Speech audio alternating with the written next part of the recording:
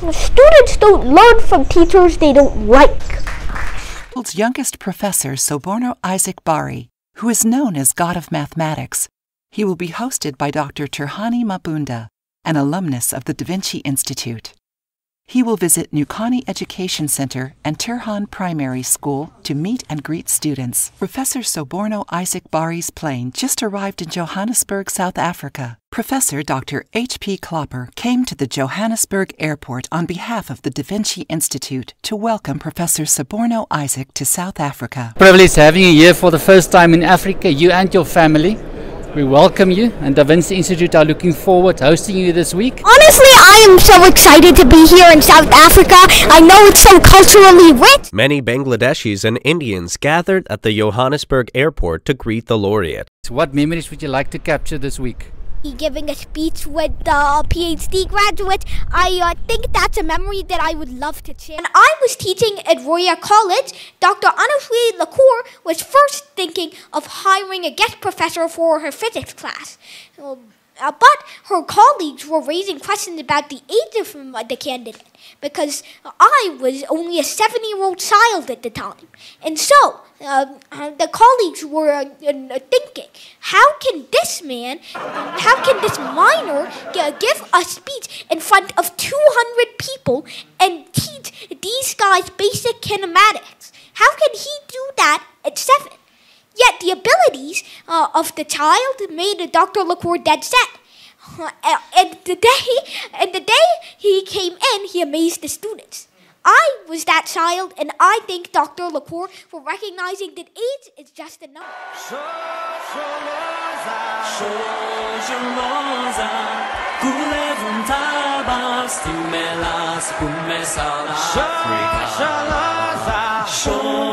When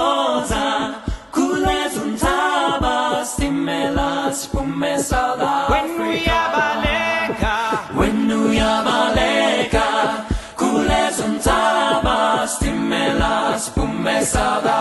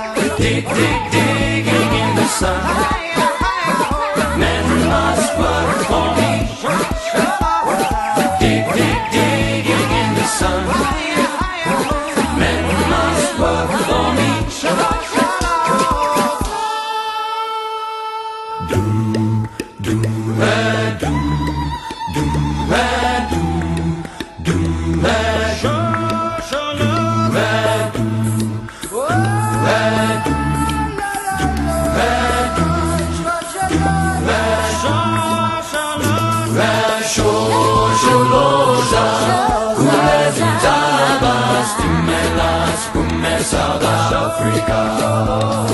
Sho, sholoza,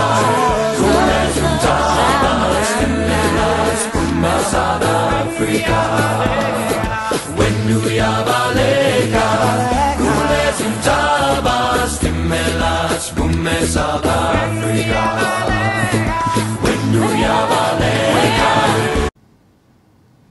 So I'll be curious as an opening question to get your perspective of what do you think is the reality of the algorithm in this timeless th- uh, space of yesterday and tomorrow.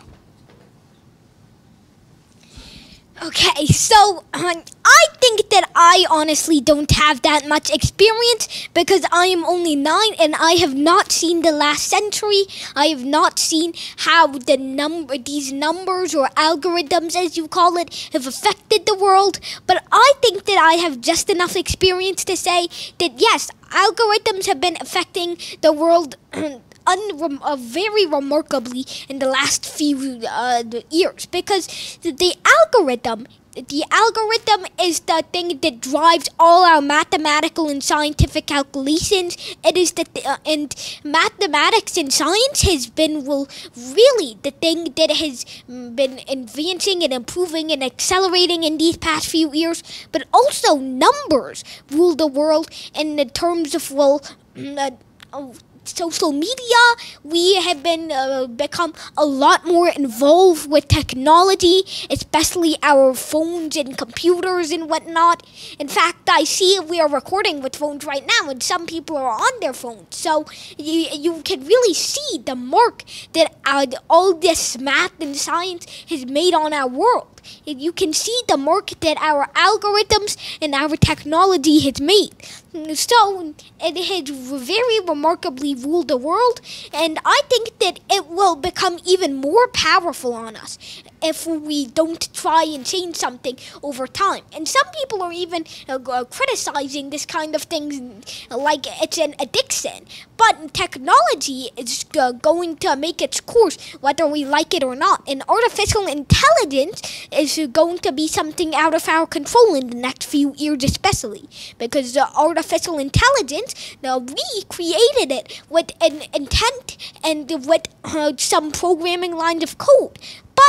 Consciousness can allow something to do whatever it wants. So all our algorithms might turn into androrithms. So we really don't know whether our algorithms will continue ruling these kinds of numbers or maybe the androrithm will take the throne in the future and maybe even we will be wiped out by artificial intelligence. So I feel like the algorithm's reign has been long and this might come to an end soon but it has been ruling over the world for these past few years for no doubt.